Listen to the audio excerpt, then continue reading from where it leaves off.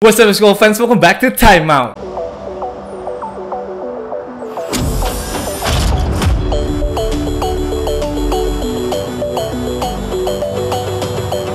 Christian, this Shaq, I owe you an apology. I wasn't really familiar with your game and you know how Oh you travel. man, you're casual. and, and, you know, played uh, you know uh, uh, 16. So I want to say I'm proud of you.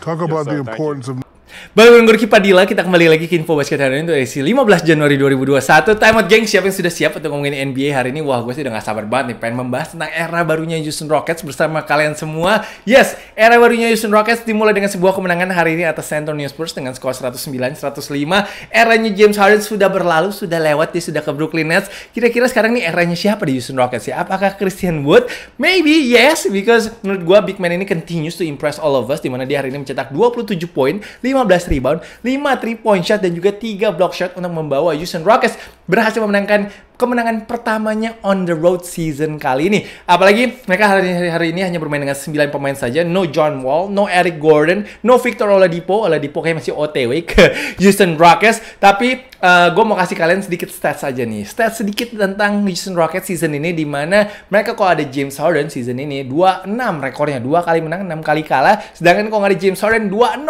alias undefeated. Jadi, apakah Houston Rockets itu akan lebih bagus tanpa James Harden ke depannya. Uh, ntar kita akan bahas tuh, itu menarik banget. Tapi sekarang gue ingin membahas tentang Christian Wood terlebih dahulu di mana tadi setelah pertandingan dia di interview ya sama Shaq. Eh, menurut gue ini lucu banget di mana Shaq bilang wah sorry banget ya gue nggak nggak- nggak nyangka kalau lu bakal jago seperti ini. Lalu si Christian Wood menjawabkan oh you're a casual maksudnya casual fan. Tapi ternyata Shaq nggak react ya sayang banget tadi tepat menurut gue tuh komentarnya lucu banget. But Christian Wood ini luar biasa banget ya. Selang beberapa tahun saja di mana dia udah kena cut di Philadelphia, kena cut di China, tapi tahun lalu dia berhasil membuktikan kalau dia adalah salah satu big man yang terbaik juga di NBA lewat uh, timnya Detroit Pistons dan sekarang dia merupakan pemain yang mahal juga ini harganya dan juga mungkin boleh dibilang top 6 top 7 big man in the NBA dan juga menjadi focal point offense-nya Houston Rockets saat ini. Gue pengen tahu sih kalau menurut kalian apakah dia top 5, top 6 di NBA kan bisa tulis aja di comment section di bawah karena di atasnya menurut gue ada mungkin Joel Embiid, Nicholas Jokic, Anthony Davis, Julius Randle, maybe Julius Randle is having a great season. Lalu juga mungkin ada Bam Adebayo. Nah, kalau menurut gue sih dia top 6 sih kayaknya di NBA sekarang ini. Tapi mungkin ke atasnya nanti kalau udah seasonnya udah selesai mungkin dia bisa masuk ke top 5. Jadi nanti gue tunggu semua komentar kalian. But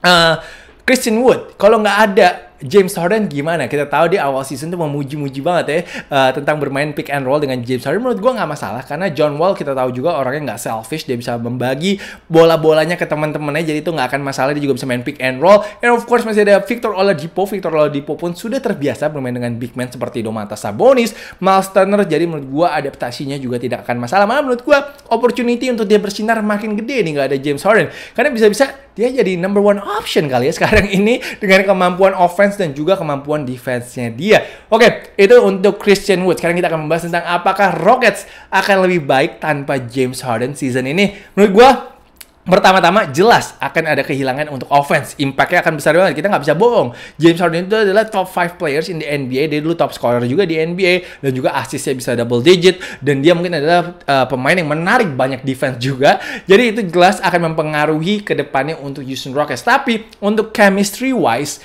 menurut gua ke depannya akan bagus untuk Houston Rockets karena udah nggak ada distraction lagi, nggak ada pemain yang mungkin sedikit egois ataupun juga ngatur-ngatur timnya lagi di uh, locker room. So I think this is for long term akan bagus untuk future-nya Houston Rockets. Dan ini membuka opportunity untuk para pemain muda seperti hari ini Jason Tate. Wah, jago banget dia sih menurut gue. 13 poin dan juga 10 assist serta juga tadi ada Sterling Brown ya menggantikan perannya James Harden di starting lineup Houston Rockets. Dia juga berhasil mencetak 23 poin. And of course, gue nggak boleh lupa ada Kenyon Martin Jr. yang hari ini juga mendapatkan menit yang sangat berkualitas sekali. So ini akan lebih baik juga untuk per- apa ya untuk development para pemain-pemain mudanya Houston Rockets. Dan tadi yang gue seneng dari Houston Rockets itu semuanya mainnya bareng, semuanya have fun banget. Dan menurut gue mereka memenangkan game ini dengan team effort dan juga hustle. Dan itu pasti yang disukai sama Steven Silas. And of course uh, untuk ke depannya nggak ada James Harden, jelasnya akan mempengaruhi tentang um, apa ya kesempatan mereka di playoff.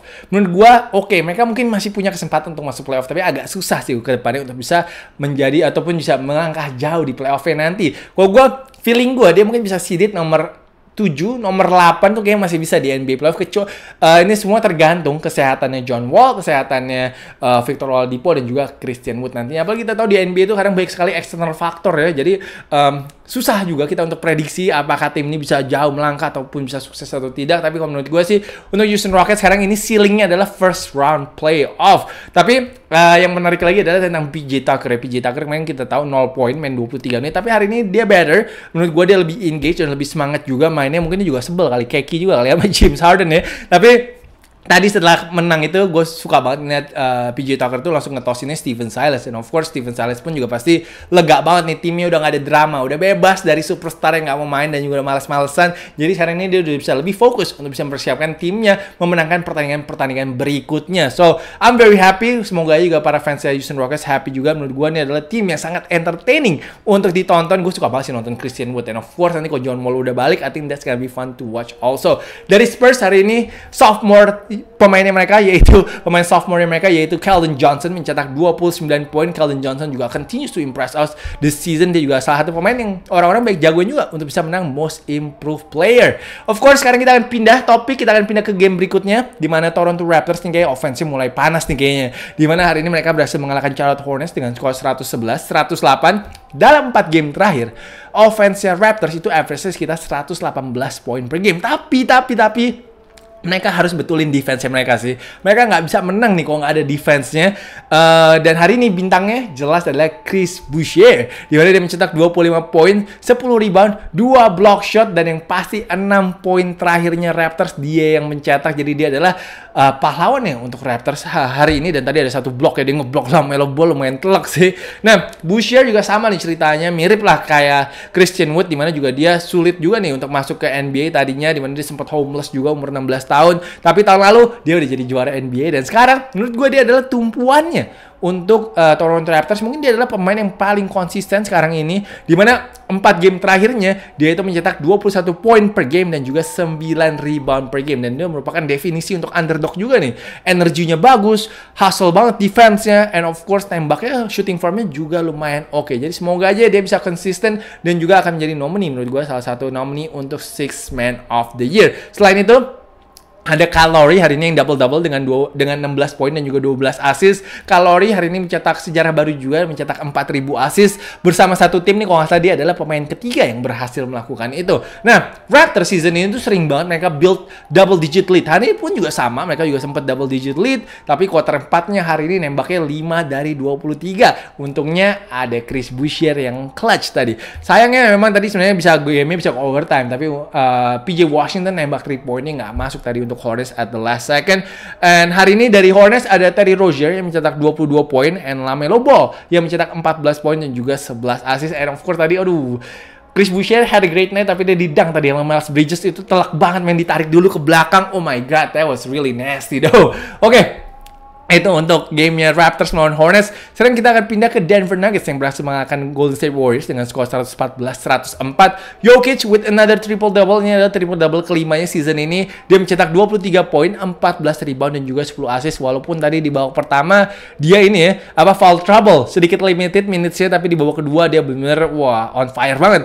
And of course, he schooled Wiseman today, man. James Wiseman kena reverse dunk sama Jokic itu jarang-jarang banget tuh kita ngeliat Jokic bisa melakukan itu sih. Itu gue dalam karir Jokic kayak belum pernah lihat dia melakukan reverse slam seperti itu. Ini pertama kalinya. So, man, showing his athleticism. Dikit-dikit ya, si Jokic.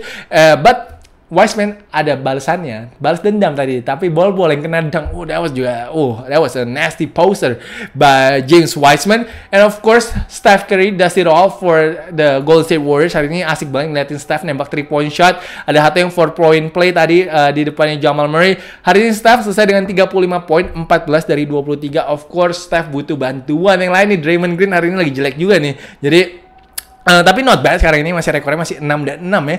Ini kedua tim rekornya sama nih uh, Denver sama Golden State Warriors tuh ada di posisi 7 sama 8 Western Conference kalau nggak salah. So Golden State Warriors are still in play for the NBA playoffs. So I'm very surprised with that. But we will see ke depannya apakah Steph akan mendapatkan bantuan dari pemain lainnya atau tidak. Next ada Indiana Pacers uh, yang mengalahkan Portland Trail Blazers dengan skor 111 uh, 87 Indiana Pacers pertanyaannya adalah seperti setiap tahun ya, apakah dia adalah tim yang paling underrated di NBA saat ini? Gue percaya Iya.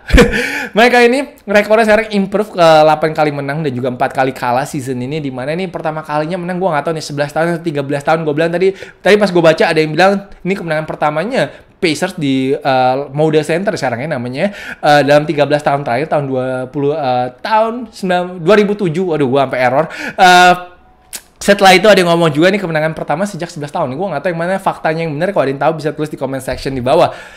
Domantas Sabonis kembali big double-double with 23 points and 15 rebounds. Ini adalah double-double ke 107 untuk Sabonis. Dia kurang satu lagi untuk bisa menyamai rekornya Roy Hibbert yang ada di posisi ketujuh untuk rekor double-double-nya history franchise-nya Indiana Pacers.